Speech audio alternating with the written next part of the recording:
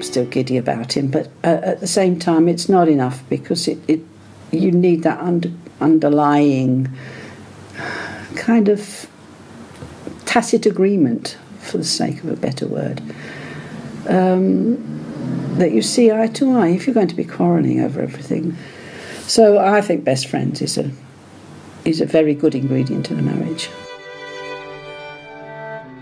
And he said, I've read in this paper about this island out off Scotland. It's supposed to be lovely, wonderful place. See, shall we go on honeymoon there? And I said, well, why not? so we went to the Outer Hebrides for our honeymoon on Tiree, which is the furthest island out. So uh, I said, oh, that sounds gorgeous, you know. It was unusual to do something like that. That was a long way to go. So um, our honeymoon was on Tiree in a little cottage with two elderly sisters who didn't know we were on honeymoon but treated us so lovely and uh, beautifully and, and four meals a day and everything and it cost us eight pound a week. But yes, I did have a crunch moment, which was when um, he was first referred to Totnes Hospital.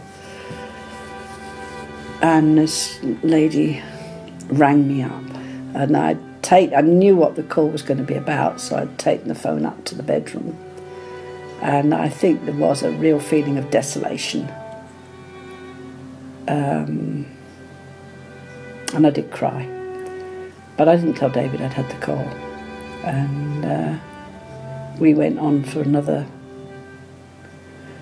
I don't know whether it was a year or 18 months. I don't really, it could have been longer. I just don't know how long we went before we went back to the doctor, and then we were sent. David was sent to the hospital again, and then he went for an MRI scan and got the diagnosis and so on. But again, he wasn't aware of it at all.